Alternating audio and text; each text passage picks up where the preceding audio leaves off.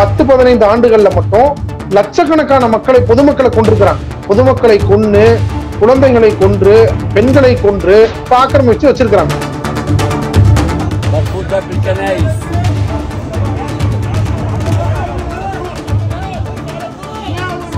இயேசுவை சிலுவையில் அறைந்தது ஒரு யூதன். உங்க இறைவனையே சிலுவையில ஏத்தி அரைஞ்சவங்க அவங்க நம்பிக்கைப்படி பார்க்கணும்னு சொன்னா அவர்கள் தான் உங்களுக்கு எதிரி. நாங்க இறை தூதருங்கிறோம். மேரி மேரி வந்து கன்னிப்பெண் கன்னிப்பெண்ணா இருக்கும்போது யாரும் தீண்டாமல் இறைவனால் அந்த இறை செய்தி அனுப்பப்பட்டு குழந்தையாக பிறந்தார். நம்மளும் ஒத்துக்குவோம் கிறிஸ்தவர்களும் ஒத்துக்குவாங்க. எல்லாத்தையும் ஒத்துக்குவோம். அதை ஒரு அற்புதம். அந்த அற்புத குழந்தையை ஏற்றுக்கொள்வோம். திருக்குறான்ல இருக்கிற மரியமின் வரலாற்றை சொல்றேன். வானவர் கேப்ரியல் அவங்க முன்னாடி தோன்றி நீ ஒரு இறை தூதரை பெற்றெடுப்பேன்னு சொன்னதும் எந்த ஆண்மகனும் தொடாத நிலையில் நான் எப்படி கருவுற முடியும்னு கேட்டதும் அது அவ்வாறே நடக்கும். அவர் மனிதர்களுக்கு ஒரு அத்தாட்சியாகவும் ஒரு அருளாளனாகவும் இறை தூதர் பிறப்பார். எப்படி வந்து யூதர்கள் வந்து அஹ், ஜீசஸை ஏத்துக்கலையோ அவ- அதே போல கிறிஸ்தவர்களுடைய அஹ், அந்த ஒரு பிடிவாதம் என்னன்னு சொன்னா முகமதை ஏத்துக்க மாட்டோம். நியாய அநியாயத்தை நீங்க பிரித்து பார்ப்பதற்காகத்தான் உங்களுக்கு நியாயப்பிரமாணமான பைபிள் இருக்கு. உங்க பைபிள் படியே பார்த்தாலும் இது அநியாயம் அப்படிங்கிறது உங்களுக்கு தெரியும். வந்தேரிகளாக வந்தவர்கள் இன்னைக்கு வந்து இந்த மாதிரி தாக்குறாங்க அப்படின்னு சொன்னா அவர்களை உயர்த்தி பிடித்து அவர்களுக்கு மிகப்பெரிய ஒரு சப்போர்ட்டை மீடியா வாங்கி கொண்டிருப்பதையும் நம்ம பார்க்கத்தான் முடியும். தொடர் தீவிர வெறுப்பு பிரச்சாரம். இஸ்லாமியர்கள்னாலே இப்படிதான் இப்படிதான் இப்படிதான் சொல்லி. இன்னைக்கும் பாருங்க அவன் இடத்த அவன் மீட்கிறதுக்காக போராடுறான். அப்ப பிரபாகரன் தீவிரவாதின்னு சொல்லுவியா? நேதாஜி தீவிரவாதின்னு சொல்லுவியா? பாருங்க ஒரு கொரோனாவை கூட கொரோனா ஜிகாது லவ் ஜிகாது பிரியாணி ஜிகாது எவ்வளவு போலி பொய்யான மெசேஜ் மெசேஜ் முதலாவது பள்ளி காபா இரண்டாவது பள்ளி இந்த மஸ்ஜித் அக்ஸா என்ற என்றும் சொல்லக்கூடிய இந்த பள்ளி. உலகிலேயே இறை- இறைவனால் ஏற்படுத்தப்பட்ட இரண்டாவது இல்லம். இதை வந்து யாருக்கு சொந்தம் கொண்டாடணும் அப்படின்னா உண்மையான இறையியல் கொள்கை. இதை இதை முஸ்லிம்கள் எக்காலத்திலையும் விட மாட்டாங்க நீ எவ்வளவு அடிச்சு கொள்ளு கடைசி ஒரு முஸ்லிம் இருக்கிற வரைக்கும் அதற்காக அவன் போராடுவான் அப்படிங்கிற எந்த மாற்று கருத்தும் இல்லை.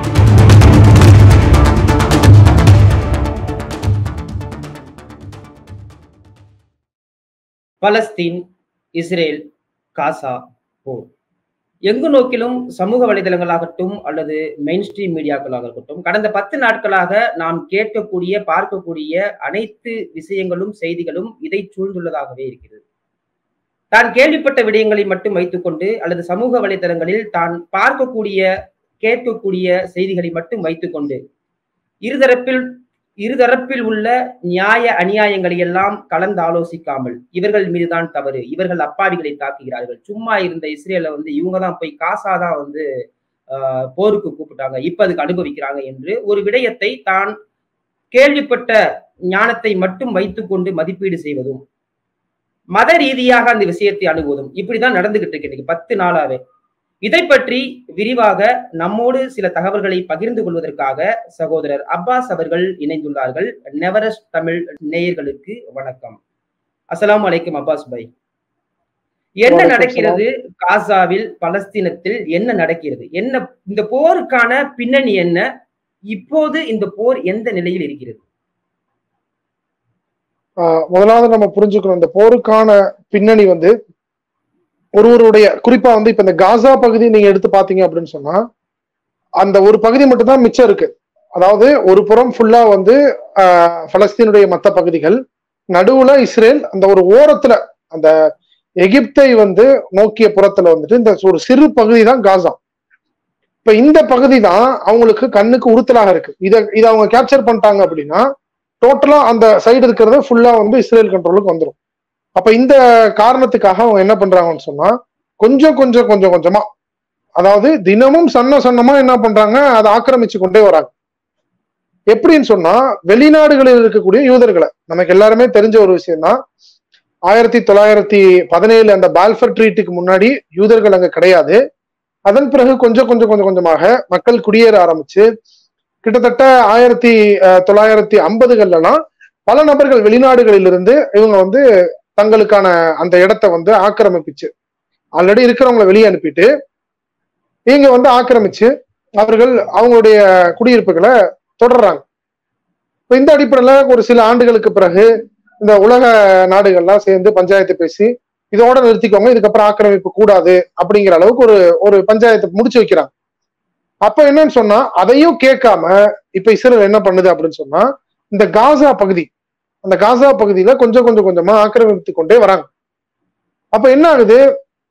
ஒரு கட்டத்துல இந்த ஆக்கிரமிப்பு ஆஹ், மீண்டு நிறைய வந்து நீண்ட அவங்களுடைய பகுதிகளை வந்து அவங்க எடுத்துக்கொள்றாங்க வெளிநாடுகள்ல இருந்து யூதர்களும் வந்து குடியேற குடியமர்றாங்க. இந்த குடியமர்ந்த பட பகுதியில தான் இந்த ஹமாஸ் போராளிகள் அவங்களுடைய தாக்குதலை தொடங்கினாங்க. அப்ப என்னன்னு சொன்னா அதற்கு எதிர்வினையாக இவர்கள் வந்து ஆஹ், தொடுத்தாங்க போர் தொடுத்தாங்க. இன்னும் வந்து வான்வழி தாக்குதல் நடந்து கொண்டுதான் இருக்கு.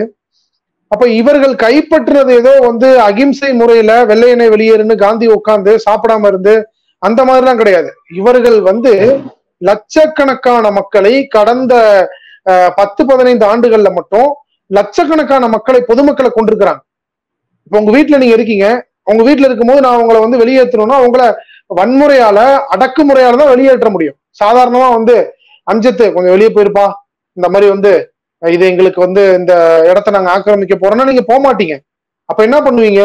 உங்க வீட்டுல இருக்கிற ஒருத்தர் நான் என்ன பண்றேன்? அவர்களை கொண்டுட்டேன் அப்படின்னா நம்ம உயிராவது மிஞ்சினுமே அப்படின்ட்டு நீங்க ஓடிடுவீங்க. அப்ப என்னன்னு சொன்னா அவர்கள் வந்து அங்க இருந்த இடத்தை இப்ப அவங்க ஆக்கிரமிச்சு உட்கார்ந்து இருக்காங்களே அந்த இடத்தெல்லாம் வந்து இந்த மாதிரிதான். பொதுமக்களை கொன்று குழந்தைகளை கொன்று பெண்களை கொன்று இப்ப ஆக்கிரமிச்சு வச்சிருக்கிறாங்க. இப்ப அதற்கு எதிர்வினையாகத்தான் இவர்கள் வந்து ஒரு தாக்குதல் தொடுத்தாங்க. இரண்டு புறமமாக இருக்கட்டும் அங்கு தாக்குதல் தொடுக்கும் போது இந்த பொதுமக்கள் பொதுமக்கள் கொல்லப்படுறது ஒரு ஒரு தினசரி செய்தியாகவே நம்ம பார்க்க முடியுது அப்ப என்னன்னு சொன்னா இவ்வாறுதான் இந்த யுத்தம் இப்ப தொடங்குச்சு இப்ப இன்னும் போய் கொண்டிருக்குது இரண்டு புறமும் இருந்து தாக்குதல் நடத்தி கொண்டு இருக்கிறாங்க அமா சைடும் இருந்து தாக்குதல் நடந்து கொண்டிருக்குது. அதே போல லெபனான் சைடுல இருந்தும் இந்த ஹிஸ்புல்லா அப்படிங்கிற ஒரு போராளி குழுவும் தாக்கி கொண்டிருக்கு. இதுல ரொம்ப நம்ம கவனத்தில் கொள்ள வேண்டிய விஷயம் என்ன சொன்னா உலகத்திலேயே நாங்க தான் வந்து செக்யூரிட்டி சிஸ்டம்ல டாப்பு இன்னும் பெருமையாக சொல்லுவாங்க. எந்த அளவு பெருமையாக சொல்லுவாங்கன்னு சொன்னா அவங்க வைத்திருக்கக்கூடிய அந்த செக்யூரிட்டி சுவர். அந்த சுவரை தாண்டி அந்த சுவரை. தாண்டி இல்ல அயன்டோம் இல்ல. அயன்டோம் ரெண்டாவது லேயர் அதற்கு முன்னாடி security. Perimeter wall security perimeter வால்னு சொல்லுவாங்க. என்னன்னு சொன்னா இந்த செக்யூரிட்டி பெரிமீட்டர் வாலை வந்து அதை தாண்டி காத்து மட்டும்தான் போக முடியும் அப்படிம்பாங்க. அவ்வளவு டெக்னாலஜி வச்சு நாங்க பாதுகாத்து வச்சிருக்கிறோம் அப்படின்னு சொல்லி அதன் பிறகுதான் அயன்டோம் இது எல்லாமே இன்னைக்கு தவிடுபடியாக்கப்பட்டிருக்கு. அப்ப இவர்கள் இவர்களுக்கு இது மிகப்பெரிய தோல்வி. மொசாதுக்கு தோல்வி. அவர்களே ஒப்புக்கொண்டிருக்கிறாங்க. நேற்றைய செய்தியில வெளிவந்திருக்கு. நாங்க எங்களுடைய தோல்விக்காக நாங்க மன்னிப்பே கேட்க முடியாது. அவ்வளவு பெரிய ஒரு தோல்வி இது. மன்னிப்பாலலாம் இதை வந்து எங்களால சரி செய்து விட முடியாது அப்படிங்கிற அளவு அவங்களுடைய தோல்வியை ஒப்புக்கொண்டிருக்கிறாங்க. இன்னும் அவர்களுடைய தோல்வி தொடங்கும். அவங்களுடைய தோல்விக்கான தொடக்கம் தான் இது. நிச்சயமாக இவர்களுடைய தோல்வி வந்து இவர்கள் செய்த அநியாயத்தின் காரணமாக இவர்கள் செய்த அந்த பொது பொதுமக்களை கொன்றதற்கும் அநியாயத்தின் காரணமாக இவர்களுடைய தோல்வி தொடர்ந்து கொண்டே இருக்கும். இவர்கள் பூஜ்யமாகும் வரை இவர்களுடைய தோல்வி வந்து நிச்சயம் தொடரும். இவர்கள் வந்து இன்னும் அனுபவிக்க வேண்டியது. இவர்கள் செய்த பாவம் அப்பேற்பட்ட பாவம். அதற்காக இவர்கள் அனுபவிக்க வேண்டியது நிறைய இருக்கு. அப்படிங்கிறத நம்ம வந்து ஆஹ், ஒவ்வொரு ஒவ்வொரு நபரும் இங்க வந்து கருத்து கருத்துல கொள்ளணும். இப்ப சமூக வலைதளங்கள்ல வரக்கூடிய கருத்துக்கள். அதை வந்து வரலாற்றோடு தொடர்பு கொண்டு ஒரு கேள்வி கேட்கிறேன். கேள்வி கொஞ்சம் நீளமானதாக இருக்கட்டும். நீளமானதாக இருக்கும். இப்போ கிறிஸ்தவர்களுடைய நம்பிக்கையின் பிரகாரம். இயேசு கிறிஸ்து வந்து காணாமல் போன ஆட்டுக்குட்டிகளாகிய யூதர்களுக்காக அனுப்பப்பட்ட ராஜா. இயேசு கிறிஸ்து சொல்லும் பொழுது கூட பிரசங்கிக்கும் பொழுது கூட ஆஹ், பிற புறஜாதி நாட்டுக்கு போகாமலும் சமாரிய பட்டணங்களில் பிரவேசிக்காமலும் காணாமல் போன ஆட்டுக்குட்டிகளாக இஸ்ரேல் இடத்துல போங்க அப்படின்னு சொல்றாரு. அப்ப இஸ்ரேவேலர்களுக்காக அதாவது யூதர்களுக்காக அனுப்பப்பட்ட ஒரு தூதர் இயேசு கிறிஸ்து அந்த தூதரை யூதர்கள் கொலை செய்து விடுகிறார்கள். ஆக்சுவலா கிறிஸ்தவர்களுடைய கோபம் முழுக்க முழுக்க யூதர்கள் மீது இருக்கணும். தன்னுடைய இறை தூதரை அல்லது இறைவனாக தாங்கள் கருதக்கூடிய ஒருவரை அவர்கள் கொலை செய்து விடுகிறார்கள். ஆனா யதார்த்தத்துல இந்த கிறித்தவர்கள் இப்ப சமூக வலைதளங்களிலோ இல்ல வந்து நேரடியாகவே இருக்கட்டும் இஸ்ரேலுக்கு ஆதரவான இஸ்ரேலுக்கு ஆதரவான ஒரு நிலைப்பாட்டை எடுக்கிறாங்களே இதை நீங்க எப்படி பாக்குறீங்க? அதாவது நீங்க சொன்னது போல இயேசுவை பொறுத்த வரைக்கும் ஈசா அலைஹிஸ்ஸலாம் அதாவது அவர்கள் யூதர்களுக்காக அனுப்பப்பட்டவர்கள் இஸ்ரவேலர்களுக்காக அனுப்பப்பட்ட அனுப்பப்பட்டவர்கள் அதாவது ஆபிரகாமுக்கு இரண்டு குழந்தைகள் இஸ்ஹாக்கு இஸ்மவேல். அப்ப இந்த ஐசக் இஸ்- இஸ்ஹாக்கு ஐசக்குமாங்க ஈசாக்கு. இந்த ஐசக் அந்த ஈசாக்குக்கு வந்துட்டு பிறந்தவர் ஜாக்கப். முஸ்லிம்கள் யாக்கூப் அப்படிம்பாங்க. அவர்கள் சந்ததியில வந்தவர்கள் தான் அந்த எழுபது டு எழுபத்தைந்து நபர்கள் பஞ்சம் பிழைப்பதற்காக எகிப்துல போய் தங்கி அவர்கள் பல்கி பெருகி இஸ்ரவேலர்கள் வந்து ஃபெரோனுக்கு ஃபெரோவுக்கு ஃபெரோ மன்னனுக்கு அடிமையா இருக்கும்போது மோசே அவர்களை விடுவித்து கூட்டிட்டு வருவார். கூட்டிட்டு வந்த பிறகு அந்த இஸ்ரவேலர்கள் அதற்கு பின்னாடி வரக்கூடிய தீர்க்கதரிசிகளை கொலை செய்து கொண்டோம் அவர்களுடைய அஹ், சொற்களை கேட்காம இருக்கும்போது திரும்ப திரும்ப தீர்க்கதரிசிகள் அனுப்ப அனுப்பப்படும் போது இந்த இஸ்ரவேலர்கள் வந்து ஏற்றுக்கொள்ளாம கொலையும் செய்வாங்க அவர்களை வந்து நிராகரிக்கவும் செய்வாங்க. இப்ப கடைசி சான்ஸ் உனக்கு அப்படின்னு இறைவனால் அனுப்பப்பட்ட அந்த தீர்க்கதரிசி தான் இயேசு. சரி நீங்க உங்க நம்பிக்கைப்படியே வரும். உங்க நம்பிக்கைப்படி அவர் உங்களுக்கு இறைவன். உங்க இறைவனையே சிலுவையில ஏத்தி அரைஞ்சவங்க அவங்க. அது எந்த கிறிஸ்துவனும் ம- அதை வந்து மறக்க மாட்டான். எந்த கிறிஸ்துவனும் அதை அதை வந்து நிராகரிக்கவே மாட்டான். அது புரொட்டஸ்டண்டா இருக்கட்டும் ஆர்சியா இருக்கட்டும் சிஎஸ்ஐயா இருக்கட்டும் பைபிள்ல. தெளிவா பதிவு செய்யப்பட்டிருச்சு. பைபிள்ல தெளிவா. இருக்குது. ஆமா அதை அதாவது எந்த பிரிவு கிறிஸ்தவராக இருந்தாலும் அவர்களுடைய ஒரு அதுல காமனான நம்பிக்கையில ஒரு நம்பிக்கை இயேசுவை சிலுவையில் அறைந்தது ஒரு யூ யூதன். யூத டீம் தான் வந்து சிலுவையில் அறைந்தது அப்படின்னு அவர்களுடைய நம்பிக்கை. அப்ப உங்க இறைவனையே சிலுவையில் அறைஞ்சவங்க அவங்க நம்பிக்கைப்படி பார்க்கணும்னு சொன்னா அவர்கள் தான் உங்களுக்கு எதிரி. நாங்க இறை தூதருங்கிறோம். உங்களோட எல்லா நம்பிக்கையிலும் நாங்க ஒத்துப்போம் ஒன்றே ஒன்றை தவிர. நீங்க இறைவன் மிக நாங்க இறை தூதர்மோ மேரிக்கு பிறந்தார் அப்படின்னு நம்ம சொல்லுவோம். மேரி மேரி வந்து கன்னிப்பெண் கன்னிப்பெண்ணா இருக்கும்போது யாரும் தீண்டாமல் இறைவனால் அனுப்பப்பட்ட ஒரு இறை தூதர் கேப்ரியலால அவர் வந்து அந்த இறை செய்தி அனுப்பப்பட்டு குழந்தையாக பிறந்தார். நம்மளும் ஒத்துக்குவோம் கிறிஸ்தவர்களும் ஒத்துக்குவாங்க. எல்லாத்தையும் ஒத்துக்குவோம். அதை ஒரு அற்புதம் அந்த அற்புத குழந்தையை ஏற்றுக்கொள்வோம். யூதர்கள் என்ன சொல்லுவாங்க? மேரிக்கு விபச்சார பட்டம் சொல்லி கொடுப்பாங்க. அவர்கள் கொடுக்கறது தான். மேரிக்கு விபச்சார பட்டம் கொடுத்தவங்க அந்த நேரத்திலையும் கொடுத்தவங்க. அதை வந்து அவர்களுடைய பைபிள்லயும் பார்க்கலாம். அப்ப அவங்க என்ன சொல்றாங்க? மேரிய விபச்சாரின்னு சொல்றவங்களுக்கு உங்களுடைய கடவுளை தூக்கி சிலுவையில அரைஞ்சவங்களுக்கு சப்போர்ட் பண்றாங்க. அதற்கெல்லாம் மேலாக இன்னைக்கும் யூதர்களுடைய வழிபாட்டு முறையில ஒரு முறை என்ன தெரியுமா? பல வீடியோக்கள் நீங்க பார்க்கலாம். அவர்கள் என்ன பண்ணுவாங்க? அந்த ரோட்ல போயிட்டு இருக்கும்போது சர்ச்சை பக்கத்துல பார்த்தாங்க அப்படின்னா துப்பிட்டு போவாங்க. இது அவர்களுடைய ஒரு வழிபாட்டு முறை யூதர்கள். அப்ப உன்னை பார்த்து காரி துப்புறவனுக்கு நீ நீ வந்து ஆதரவு தர. அப்ப நான் என்ன சொல்றேன் அப்படின்னு சொன்னா இந்த ஆதரவு எல்லாம் சோசியல் மீடியாவோட நிப்பாட்டிக்கோங்க நேரில் போய் நீங்க போனீங்கன்னா அவன் காரி உங்க மேல துப்புவான். பல வீடியோக்களை நீங்க பார்க்கலாம். அப்ப நீங்க உங்க ஆதரவை வந்து சோசியல் மீடியாவோட நிப்பாட்டிக்கோங்க இந்த ஆதரவுக்கு காரணம் என்ன அப்படிங்கறதையும் நம்ம ஆராயணும். ஏன் வந்து இவர்கள் இப்ப முஸ்லிம்களுக்கு வந்து குரான்ல சொல்லப்பட்டிருக்கு கிறிஸ்தவர்கள் உங்களோடு மிக அன்பாக இருப்பதை நீங்க பார்ப்பீங்க அப்படின்னு. ஆனா இங்க வந்து டோட்டலா வித்தியாசமா இருக்கு. காரணம் என்னன்னு சொன்னா தொடர் தீவிர வெறுப்பு பிரச்சாரம். இஸ்லாமியர்கள்னாலே இப்படிதான் இப்படிதான் இப்படித்தான் சொல்லி. இன்னைக்கும் பாருங்க அவன் இடத்த அவன் மீட்கிறதுக்காக போராடுறான். அப்ப பிரபாகரன் தீவிரவாதின்னு சொல்லுவியா? நேதாஜி தீவிரவாதின்னு சொல்லுவியா? எப்படி சொல்லுவீங்க? அவனுடைய இடத்த. பிரிட்டிஷ்காரன் வந்து ஆக்கிரமிச்சு கொண்டான். நேதாஜி சுபாஷ் சந்திர போஸ் அந்த இடத்துல போராடினாரு. அவர் வந்து போராட்ட குழுக்களை வைத்து போராடினாரு. நான் காந்தி வந்து அகிம்சை முறையில போராடினாரு. அப்ப நீங்க வந்து அவர்களை தீவிரவாதின்னு சொன்னா நீங்க அமைதியா இருப்பீங்களா? அதேதான் அவனும் பண்றான். போராளிகள். அவங்க செஞ்ச போராட்டம் போராளிகள் இவர்கள் பண்ணா அது வந்து தீவிரவாதம் அப்படிங்கிற மாதிரி. இதுதான் இதுதான் வந்து தொடர் வெறுப்பு பிரச்சாரம். மீடியாக்களால தொடர் வெறுப்பு பிரச்சாரம் செய்ததன் விளைவுதான். இப்ப பாருங்க ஒரு கொரோனாவை கூட கொரோனா ஜிகாது லவ் ஜிகாது பிரியாணி ஜிகாது பிரியாணில கருத்தடை மாத்திரை எவ்வளவு போலி பொய்யான மெசேஜ மெசேஜ எல்லாரும் பரப்பி பரப்பி பரப்பி என்ன ஆயிடுச்சுன்னு சொன்னா முஸ்லிம்கள் மீதான ஒரு பயங்கரமான வெறுப்பை வந்து கட்டமைச்சிட்டாங்க அது உன் கடவுளே கொன்ன என் கடவுளே நீ கொன்னவனா இருந்தாலும் பரவாயில்லடா. ஏன் நான் உயிருக்கும் மேலாக மதிக்கக்கூடிய மேரியவே நீ விபச்சாரின்னு சொன்னாலும் பரவாயில்ல. அத நீ அதெல்லாம் தாண்டி இந்த வெறுப்பு பிரச்சாரம் உயர்ந்து அவனுடைய நம்பிக்கைக்கும் அதிகமாக இந்த வெறுப்பு பிரச்சாரம் அவனுடைய இதயத்தில் இருக்குது அப்படிங்கிறத இதன் மூலமாக நம்ம பார்க்க முடியுது. இதுதான் இதற்கு காரணம். இப்போ சமூக வலைதளங்கள் இல்லாம இப்ப இதே உதாரணம் தான் கிறிஸ்தவர்களுக்கு ஆ- உள்ளபடியே கிறிஸ்தவர்கள் எதிர்க்க வேண்டியவர்கள் யூதர்கள் தான். அந்த அடிப்படையில அமெரிக்கா போன்ற இந்த ஏகாதிபத்திய சட்டாம்பிள்ளை நாடுகள் இஸ்ரேலுக்கு எதிராகத்தான் இருக்கணும். அப்ப அவ அவங்க வந்து ஏன் இஸ்ரேலுக்கு சப்போர்ட் பண்றாங்க? இஸ் அதாவது அமெரிக்காவை பொறுத்த வரைக்கும் ஒரு சர்வதேச ஆயுத வியாபாரி. அவனுக்கு எங்க ப்ராஃபிட் இருக்கோ அங்கதான் அவன் சப்போர்ட் பண்ணுவான். ஹமாஸ்காரன் ஆயுதம் வாங்குறேன் இவ்வளவு காசு வேணும்னா ஹமாஸுக்கு சப்போர்ட் பண்ணுவான். ரொம்ப சிம்பிள் ஆஹ் வந்து நியாயம் பக்கம் நின்று வரலாறுலாம் நீங்க பார்க்கவே முடியாது. இப்ப இத்தனை லட்சம் மக்கள் கொல்லப்பட்டாங்க இலங்கையில. வந்து நின்னானா? கிடையாது. ஈராக்ல வந்து அணு ஆயுதம் இருக்குன்னு எங்களுக்கு செய்தி வந்துச்சு. அதுக்கு போய் எத்தனை லட்சம் மக்களை கொன்னான்? கடைசியில அணு ஆயுதம் எடுக்கவே இல்லைங்க. சதாம் ஹுசேனை கொன்னா மக்களை கொன்னா. அப்ப அவனுக்கு தேவை அங்க ஏதாவது ஒரு பெனிஃபிட் இருக்கணும். இப்ப பாத்தீங்கன்னா அதுக்கு அந்த பூமிக்கு கீழே உங்களுக்கு ஆயில் இருக்கு அப்படின்னு சொன்னா அவன் வருவான். இலங்கையில எந்த ஆயிலும் இல்ல. சோ அதனால வரமாட்டான். நீ எத்தனை லட்சம் பேரை கொண்டாலும் வரமாட்டான். சோ அவன் வந்து அவனுக்கு ஒ- எ- பெனிஃபிட் இருக்கணும். இல்லைன்னா அவனுடைய ஆயுதத்தை வித்து அவன் வந்து பெனிஃபிட் அடையணும். இஸ்ரேலால வாங்க முடியும் ஆயுதங்களை. ஏன்னா அவன்கிட்ட மிக பெரும் பொருளாதாரம் இருக்கு. அவனுடைய அந்த யூதர்கள் மிக பெரும் முதலாளிகளாக இருக்கிறாங்க. அதனால ஆயுதங்கள் விற்பதற்காகத்தான் அவன் வந்து இஸ்ரேலுக்கு சப்போர்ட் பண்றானே ஒழிய இதே வந்து இன்னைக்கு வேற நாடுகள் வேற நாடுகள் அதிகமா உன்னோட நான் அதிகமா வாங்கிக்கிறேன். இஸ்ரேல் வாங்குறத விட நான் அதிக விலை வாங்கி கொடுத்து இந்த ஆயுதங்களை வாங்கிக்கிறேன்னு சொன்னா அவனுக்கு கொடுப்பான். ஆஹ் இஸ் அமெரிக்காவிட்ட இருந்தெல்லாம் என்னைக்குமே நியாயத்தெல்லாம் எதிர்பார்க்க முடியாது. மீண்டும் இந்த புனித நூல்களின் அடிப்படையில. இப்போ யூதர்களுடைய புனித நூல் வந்து தோரா தௌராத். அந்த தோராவில் இவர்கள் வந்து நீ மோரியோ மலைக்கு சென்று அந்த ஈசாக்கை வந்து தகன பலியிடு அப்படிங்கிற மாதிரி ஒரு வசனம் வரும். இதே கிறிஸ்தவத்துல ஜெருசலேமுக்கு அருகில் வந்து இவர் வந்து பிரசங்கம் செய்தார். இயேசு கிறிஸ்து வந்து பிரசங்கம் செய்தார் அப்படின்னு வரும்.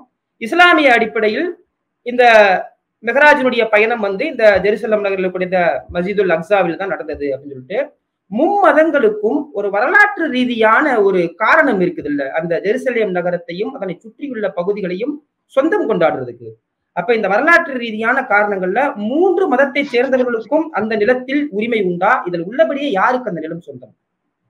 அதாவது இந்த இந்த இடத்திற்கு அடித்துக் கொள்ளக்கூடியது ஆபரகாமிக் ரிலிஜியன் மட்டும்தான். இப்ராஹிம் வழியாக வந்த அந்த ஆபரகாம் வழிய வந்த அவர்கள் தான் அடித்துக் கொள்வாங்க. இப்ப உதாரணத்துக்கு பாத்தீங்கன்னு சொன்னா நம்ம முன்னாடியே சொன்னது போல ஆபரகாமுக்கு ரெண்டு பிள்ளைகள். ஒண்ணு இஸ்மவேல் இன்னொன்னு ஈசாக் அப்ப இந்த நம்பிக்கையை பொறுத்த வரைக்கும் இந்த பள்ளி முதலாவது யாரு கட்டினது அப்படின்னா ஆடம் கட்டினது.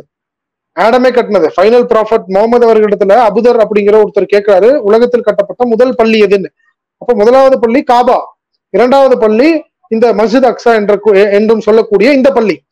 இந்த பலஸ்தீன் இருக்கக்கூடிய பள்ளி. இதற்கும் அதற்கும் இடையில நாற்பது வருட கால இடைவெளி அப்படிங்கிற சொல்ற ஹதீஸ்களை நம்ம பார்க்க முடியுது. அதாவது நபி மொழிகளை பார்க்க முடியுது.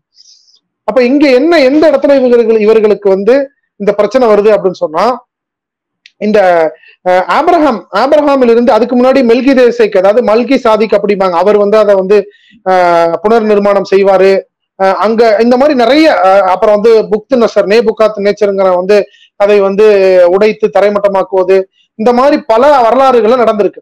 இப்ப எங்க வந்து இவர்கள் ஒவ்வொருத்தரும் தனக்கு தனக்குன்னு அடிச்சுக்கிறாங்களா? இது எங்க பிரியுது அப்படின்னு பார்த்தோம் சொன்னா இந்த ஆபிரகாம் வழியாக வந்த ஈசாக் அவர்களுடைய சந்ததியில் வந்தவர்கள் அந்த இஸ்மவேல் நம்ம பார்த்தோம் இஸ்மவேலர்கள் அந்த யூதர்கள். யூதர்கள் இயேசுவை ஏத்துக்க மாட்டாங்க. அதுக்கு முன்னாடி வரைக்கும் ஏத்துக்குவாங்க. அப்ப என்னன்னு சொன்னா யூதர்கள் இயேசுவை ஏற்றுக்கொள்ளாம இயேசுவனை நான் நான் வந்து இறை தூதரா ஏத்துக்க மாட்டேன் இறைவனை ஏத்துக்க மாட்டேன் அப்படின்னு சொல்லி அங்கேயோட அவங்க நிப்பாட்டிட்டாங்க. கிறிஸ்தவர்கள் என்ன பண்றாங்க? இயேசுவையும் ஏற்றுக்கொள்றாங்க. இயேசுவை ஏற்றுக்கொண்டு நீங்க வந்து பாத்தீங்க அப்படின்னு சொன்னா திரும்பி வரக்கூடிய மக்களுக்கு அதாவது இந்த இஸ்மவேலர்கள்லயே திரும்பி வரக்கூடிய நன்மக்களுக்காக இறுதியாக ஒரு தூதர் அனுப்புவேன். அந்த யூதர்கள் யாரெல்லாம் இந்த ஆஹ், இயேசுவுடைய சொல்லை கேட்டு தீர்க்க தரிசனத்தை நீங்க கேட்டு இருக்கிறீங்களோ அவர்களுக்கு வந்து நற்செய்தி வந்து பைபிள்ல சொல்லப்பட்டிருக்கு. ஆனா இவங்க இவங்க யூதர் பண்ணாங்க என்ன பண்ணாங்க அவரே கொலை செய்ய முயற்சி பண்ணாங்க.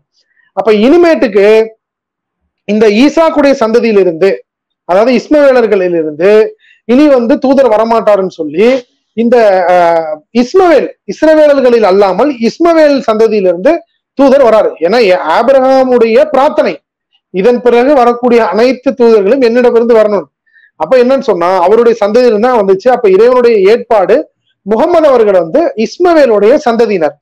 எப்படி வந்து யூதர்கள் வந்து ஆஹ், ஜீசஸை ஏத்துக்கலையோ அவ அதே போல கிறிஸ்தவர்களுடைய அந்த ஒரு பிடிவாதம் என்னன்னு சொன்னா முகமதை ஏத்துக்க மாட்டோம்.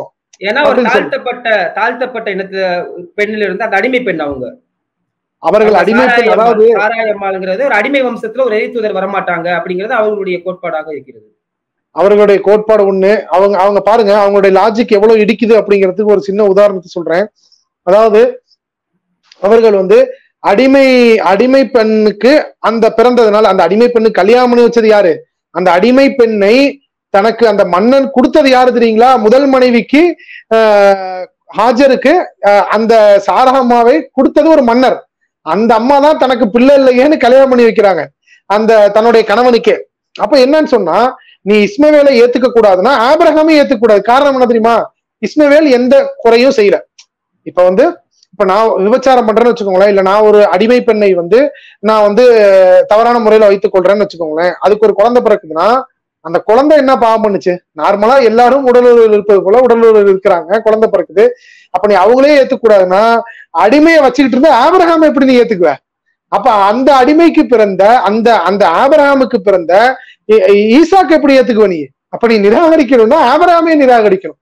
இதெல்லாம் வந்து வெற்றுவாதங்கள். அவர்கள் வந்து முகமது நபியை வந்து புற புறக்கணிப்பதற்காக வைக்கக்கூடிய வெற்றுவாதங்கள். எப்படி யூதர்கள் இயேசுவை புறக்கணிப்பதற்காக வெற்றுவாதங்கள் வைக்கிறாங்களோ அதே போல கிறிஸ்தவர்கள் வைக்கக்கூடிய வெற்றுவாதம் முகமது நபியை புறக்கணிக்கிறதுக்காக வைக்கக்கூடிய வாதங்கள் இதெல்லாம். கொஞ்சம் வந்து யோசிச்சு அவர்கள் பைபிளை வந்து மன மன மனமுவந்து அவங்க வந்து வெளி ஒரு ஒரு ஆஹ், பிடிவாதம் இல்லாம நான் இதில் இருக்கக்கூடிய உண்மையை தீர்க்க தரிசனத்தை நான் ஏத்துக்குவேன் அப்படின்னு படிச்சாங்கனாவே தெளிவா தெரியும் இறைவன் ஒருவன் தான். இயேசு இறை தூதர். இறுதியாக வரக்கூடிய இறை தூதரை வந்து இயேசு சொல்லிட்டு போயிருக்கிறாரு அப்படிங்கறத தெளிவாக அவங்க புரிஞ்சு கொள்வாங்க அவங்களுடைய பிடிவாதம் தான். எனக்கு தெரிந்த இந்த சிலுவை யுத்தங்கள் ஜெருசலத்தை மையப்படுத்தி தான் இந்த சிலுவை யுத்தங்கள் எல்லாம் நடந்துச்சு. ஜெருசலம் வந்து முதல் சிலுவை யுத்தத்தில் அவர்கள் கையகப்படுத்துகிறார்கள் மறுபடி வந்து அது இஸ்லாமியருடைய கையில் வருது. மறுபடியும் அந்த மாதிரி தான் வந்துகிட்டே இருக்குது மாறி மாறி. அப்ப அந்த சிலுவை யுத்தத்தின் பிரகாரம் கிறிஸ்தவர்கள் தானே இந்த ஜெருசலத்தை அடைஞ்சுக்கிறதுக்கு இப்ப முயற்சிக்கணும். அவங்க இப்போ இஸ்ரேலுக்கு உதவி செய்யக்கூடிய ஒரு சூழல்ல தான் இருக்கிறாங்க. அவங்க அதை கையகப்படுத்துவதற்கு அந்த சிலுவை யுத்தத்தை மறுபடியும் அந்த குருசேட்ஸை அவர் மறுபடியும் ஆரம்பிப்பதற்கான ஒரு சாத்தியக்கூறுகள் இருக்கிறதா இல்ல அதாவது இந்த வரலாற்றை பொறுத்த வரைக்கும் ஆறாம் நூற்றாண்டுல அதாவது அறுநூத்தி முப்பத்தி ஆறுகள்ல கிபி அறுநூத்தி முப்பத்தி ஆறுகள் வரைக்கும் அது ஆஹ், உமர் உமர் அவர்களால் இரண்டாம் கலீஃபா அப்படின்னு சொல்லக்கூடிய உமர் அவர்களால் வந்து அது கைப்பற்றப்படுது. போரின்றி அந்த ஆலயத்தில் இருக்கக்கூடிய ஊழியர்கள் ஊழியம் செய்யக்கூடிய நபர்கள் வந்து அவர்கள் தங்களுடைய உமருடைய கையில் கொடுத்துட்டு போறாங்க. அதன் பிறகு ஆயிரத்தி தொண்ணூத்தி எட்டு வரைக்கும் கிபி ஆயிரத்தி தொண்ணூத்தி எட்டு வரைக்கும் முஸ்லிம்களுடைய கையில இருக்கு. அதன் பிறகு சிலுவை யுத்தம் செய்து ஆஹ், கைப்பற்றப்பட்டு சுமார் எண்பத்தி எட்டு ஆண்டுகள் யார் கையில இருக்குன்னு சொன்னா கிறிஸ்தவர்களுடைய கையில இருக்கு. திரும்ப சலாவுதீன் ஐயபி அப்படிங்கிற நபர் வந்து அதை கைப்பற்றுறாரு. இங்க என்னன்னு சொன்னா இங்கு இது முஸ்லிம்களுக்கா கிறிஸ்தவர்களுக்கா அல்லது யூதர்களுக்கா அப்படின்னு பாக்குறதுக்கு முன்னாடி உண்மையை உரசி பார்த்தோம்னு சொன்னா இது இறைவனால் ஏற்படுத்தப்பட்ட உலகிலேயே இறை- இறைவனால் ஏற்படுத்தப்பட்ட இரண்டாவது இல்லம். இதை வந்து யாருக்கு சொந்தம் கொண்டாடணும் அப்படின்னா உண்மையான இறையியல் கொள்கை. உண்மையான இறை இறையியல் கொள்கை நீங்க பாத்தீங்கன்னு சொன்னா இன்னைக்கு வந்து இஸ்லாமியர்கள் இடத்துல தான் தியாலஜி நீங்க தியாலஜியை உட்காந்து நீங்க எல்லா உங்க யூத குருக்கள் வாங்க. கிறிஸ்தவ குருக்கள் வாங்க. இஸ்லாமியர்கள் வாங்க. இன்னைக்கு இதை பத்தி நம்ம தியாலஜியை பத்தி இறைவனை பத்தி நீங்க வந்து ஆய்வு செய்வோம். உங்களுடைய வாதங்களை எடுத்து முன்வைங்க. அப்படின்னு எடுத்து பார்த்தாவே தெரிஞ்சு போயிடும் சோ இது வந்து இந்த எந்த இறைவனுக்கு எந்த இறைவன் யாருக்கு இது உரியதா இருக்கும் அப்படின்னு தெரிஞ்சு போயிடும் அதெல்லாம் நம்ம ஒதுக்கி வச்சிருவோம். இன்னைக்கு வந்து இந்த மெட்டீரியலிஸ்டிக் வேர்ல்ட வச்சு நம்ம பார்ப்போம். நீங்க இந்த இந்த உலக உலகம் சார்ந்து நீங்க பார்த்தாலும் கடந்த பல நூற்றாண்டுகளாக முஸ்லிம்களுடைய கையில இருக்கு. அப்ப இப்ப இப்ப உதாரணத்துக்கு நீங்க வந்து இந்தியா கூட எடுத்துக்கோங்களேன். இந்தியால நீங்க இப்போ உங்களுக்கு ஒரு கோயில் இருக்கு. அந்த கோவிலை வந்து இல்ல இதுக்கு முன்னாடி பள்ளிவாசல் இருந்துச்சு அப்படின்னு நீங்க அந்த கோயிலை இடிச்சிட்டு நீங்க திரும்ப பள்ளிவாசல் கட்ட முடியாது. இருந்திருந்தாலுமே. அப்ப என்னன்னா ஒரு குறிப்பிட்ட காலத்துக்கு வரைக்கும் அது யாரு கையில எப்படி இருந்துச்சோ அப்படியே தான் தொடரணும் அப்படின்னு ஒரு சட்டம் இருக்கு. அப்ப இங்க என்னன்னு சொன்னா பல நூற்றாண்டுகளாக முஸ்லிம்கள் இருந்துட்டாங்க. இருந்ததுக்கு பிறகு இன்னைக்கு திடீர்னு வந்து நான் வந்து உட்கார்ந்துருப்பேன் அப்படின்னு சொன்னா இது எப்படி ஏற்றுக்கொள்ள முடியும்? அப்ப அப்படி பார்த்தா எல்லாத்துக்கும் நான் ஒரு வரலாற்றை சொல்லி ஒரு வரலாற்றை சொல்லி இது என் வீடு. இந்த அமெரிக்கா வந்து கொஞ்ச நாளைக்கு முன்னாடி வரைக்கும் ஆஹ், கல் எப்படி இருந்துச்சு? கற்காலத்துல இருந்தவங்க அதாவது வந்து நாத்தியர்களா இருந்தாங்க. இப்ப என்ன கிறிஸ்தவர்கள் நீங்க இருக்கிறீங்க? இனிமேட்டு வந்து இங்க கிறிஸ்தவமே இருக்கக்கூடாதுன்னு போய் அங்க போய் கிறிஸ்தவ சர்ச் எல்லாம் உடைச்சிட்டு ஒண்ணும் இல்லாம வெறும் தரையை ஆக்க முடியுங்களா? அது தவறு தானே அப்ப நீங்க வந்து மனிதாப அடிப்படையில பார்த்தாலும் இங்க அந்த இடத்துல இருந்தவங்களே இருக்க விட்டுருணும் சோ நீங்க நீங்க வந்தேரிகளாக வந்தவர்கள் இன்னைக்கு வந்து இந்த மாதிரி தாக்குறாங்க அப்படின்னு சொன்னா அவர்களை ஹீரோவாக இன்னைக்கு வந்து காட்டக்கூடியதும் அவர்களை உயர்த்தி பிடித்து அவர்களுக்கு மிகப்பெரிய ஒரு சப்போர்ட்டை மீடியா வாங்கி கொண்டிருப்பதையும் நம்ம பார்க்கத்தான் முடியுது சோ அதனால வந்து மூன்று நபர்களுமே இருந்துட்டு போங்கிறோம் நம்ம. அமைதியா இருந்துட்டு போங்க. ஏன் நீ ஆக்கிரமிக்கிற? இப்ப முஸ்லீம் வந்து ஒரு இடத்த வந்து ஆக்கிரமிச்சா நீ விட்டுருவியா? இல்ல ஒரு கிறிஸ்தவன் வந்து ஒரு யூதனுடைய இடத்த ஆக்கிரமிச்சா விட்டுருவியா? சோ இங்க வந்து பிரச்சனையே என்னன்னு சொன்னா அதே மாதிரி கிறிஸ்தவர்கள் இந்த இடத்துக்கு அவங்க உரிமை கொண்டாட மாட்டாங்க. இனி இனி உரிமை கொண்டாடுவது குறைவாகத்தான் இருக்கும். அவங்க வந்து கிறிஸ்தவர்களை பொறுத்த வரைக்கும் அவர்கள் வந்து இரண்டு முறை தோல்வி அடைஞ்சிட்டாங்க இந்த சிலுவை யுத்தத்துல. ஆனா முஸ்லீம்கள் வந்து இது கண்டிப்பாக முஸ்லிம்கள் கையில வரும் அப்படின்னு ப்ராஃபஸி இருக்கு. நபியுடைய முன்னறிவிப்பு இருக்கு. இது நிச்சயமாக அது வரும். அந்த இடத்தில் வந்து இன்ஷா அல்லாஹ் இறைவன் நாடினால் இயேசு அந்த இடத்துல நின்று தொழுகை வைக்கக்கூடிய அந்த சூழலும் ஏற்படத்தான் போகுது அப்படிங்கிறத முஸ்லிம்கள் உணர்ந்து இருக்கிறாங்க அப்படிங்கிறப்ப இதை இதை முஸ்லிம்கள் எக்காலத்திலையும் விட மாட்டாங்க நீ எவ்வளவு அடிச்சு கொள்ளு கடைசி ஒரு முஸ்லீம் இருக்கிற வரைக்கும் அதற்காக அவன் போராடுவான் அப்படிங்கிற எந்த மாற்று கருத்தும் இல்லை. கிறிஸ்தவர்கள் விட்டுட்டாங்க. இனிமேட்டு அதன் பக்கம் அவங்க வரமாட்டாங்க. நிச்சயமாக. மத கிரகந்தங்களின் அடிப்படையில் இல்லாம அந்த நிலத்துல காலம் காலமாக வாழ்ந்த மக்கள் அப்படின்னு ஒரு கூட்டம் இருப்பாங்க இல்லையா? அப்ப அந்த மக்கள் தான் வந்து காணானியர்களா? இப்ப நான் முதல்ல உங்கள்கிட்ட ஒரு கேள்வி கேட்டேன். காணாமல் போன ஆட்டுக்குட்டிகளாகிய சில அந்த பைபிளுடைய வசனத்துல முதல் அந்த வசனத்தினுடைய துவக்கம் எப்படி துவங்கும்னா அப்பொழுது காணானிய ஸ்திரீ ஒருத்தி வந்து பிதாவே என் பிள்ளைக்கு இறங்கும் பிசாசியால் பிடித்திருக்கிறான்னு சொன்ன உடனே ஆஹ் காணாமல் அப்பதான் வந்து இயேசு கிறிஸ்து வந்து மறுமொழியிடுவார். காணாமல் போன ஆட்டுக்குட்டிகளாகிய சிறைவலர்களுக்காகவே அனுப்பப்பட்டேன் அப்படின்னு. அப்போ சொன்ன பிள்ளைகளின் அப்பத்தை எடுத்து நாய்க்கு கொடுப்பது முறையல்ல அப்படிங்குவாரு. அப்ப அந்த கானானிய ஸ்திரியை வந்து நாயோட ஒரு உவமை கொடுக்கிற மாதிரி இன்னைக்கு நம்ம அதை படிக்கிறோம். அப்ப அந்த கானானிய ஸ்திரீ அப்படின்னு சொல்லக்கூடிய அந்த பெண்மணி இந்த கானான் தேசத்தை கானான் தேசத்தை சேர்ந்தவங்களா? இந்த கானான் தேசம் முன்னோர்கள் வாக்களிக்கப்பட்ட அந்த கானான் தேசத்தை எங்களுக்கு காட்டுவீராக சொல்லிட்டு மோசஸ்ட கூட அவருடைய அந்த யூத கூட்டம் கேட்கும். அப்ப இதுதான் இந்த கானான் தேசமா? இந்த கானான் தேசத்தை அடைவதற்கு தான் இவ்வளவு போராட்டமா? இது அவர்கள் நாய்களை போல ஒப்பிட்டார்களா அந்த காலத்திலேயே? இது அதாவது இது நவீன கிறிஸ்தவர்கள் கொடுக்கக்கூடிய ஒரு இன்டர்பிரேஷன் அவர்கள் கொடுக்கக்கூடிய ஒரு விளக்கம். இந்த இந்த நேரத்துல நம்ம யூதர்களுக்கு தான் சப்போர்ட் பண்ணணும் அப்படின்னு அவர்கள் கட்டமைக்கக்கூடிய ஒரு விளக்கம். இப்ப ஆஹ், ரொம்ப சிம்பிள் இப்ப வந்து ஒரு தீர்க்க தரிசனம் உரைக்கப்பட்டிருக்கு அப்படின்னு வச்சுக்கோங்க. ஒரு தீர்க்க தரிசனம் உரைக்கப்பட்டிருப்பதாலேயே அதன் பக்கத்தான் நம்ம நிக்கணும் அப்படிங்கிறது கிடையாது. இப்ப உதாரணத்துக்கு பாத்துக்கிட்டீங்கன்னா அந்த கிறிஸ்து வருவாரு அப்படின்னு ஒரு தீர்க்க தரிசனம் உரைக்கப்பட்டிருக்கு. அதனால அந்த கிறிஸ்து சைடு தான் போய் நிக்கணுமா? கிடையாது. நியாய அநியாயத்தை நீங்க பிரித்து பார்ப்பதற்காகத்தான் உங்களுக்கு நியாயப்பிரமாணமான பைபிள் இருக்கு. உங்க பைபிள் படியே பார்த்தாலும் இது அநியாயம் அப்படிங்கிறது உங்களுக்கு தெரியும். அப்ப இவர்கள் வந்து ஒரு ஒரு உலகளாவிய ஒரு சாயம் பூசப்படுது. அதான் நான் முன்னாடியே சொன்ன மாதிரி முஸ்லீம்களுக்கு கிடைச்சிடக்கூடாது. அது அது யாருக்குமே இல்லைன்னா கூட பரவாயில்ல. ஒரு பழமொழி சொல்லுவாங்க. தானும் படுக்க மாட்டான் தள்ளியும் படுக்க மாட்டான் அப்படின்னு ஒரு பழமொழி சொல்லுவாங்க. எனக்கு கிடைக்கலன்னு பரவாயில்ல யாருக்கும் கிடைக்க கூடாது அந் அதையும் ஒருபடி தாண்டி போய் என் கடவுளையே சிலுவையில மரத்துல ஏத்தனவனா இருந்தாலும் பரவாயில்ல. எங்க அம்மாவே அவன் வந்து விபச்சாரின்னு சொன்னாலும் பரவாயில்ல. கிறிஸ்தவர்களுக்கும் தாய் அவங்க முஸ்லிம்களுக்கும் தாய். எல்லாரும் தாயா தான் பார்ப்போம். அந்த தாயவே விபச்சாரி விபச்சாரத்துக்கு பிறந்த புள்ளன்னு இயேசுவ சொல்லுவாங்க. அவனுக்கு போயிட்டு போட்டுன்னு உன்னோட தீர்க்க தரிசனத்தை நீ மாத்தி உனக்கு தகுந்த மாதிரி மாத்தி கொடுக்குறியே மக்களுக்கு மக்கள் மத்தியில இதை ஏற்படுத்துறியன்னு சொன்னா உனக்கு எந்த அளவு மனதில் ஒவ்வொருவருக்கும் முஸ்லிம்கள் மீதான வெறுப்பு பிரச்சாரம் ஊட்டப்பட்டிருக்குது? என்னதான் இருக்கு? நான் இதன் மூலமாக அனைவருக்கும் சொல்லக்கூடிய ஒரு வேண்டுகோள் என்னன்னு சொன்னா அப்படி என்ன நீங்க வெறுப்படைகிற அளவுக்கு இஸ்லாம்ல இருந்தது? நீங்க குரானை வாங்கி படிச்சு பாருங்க.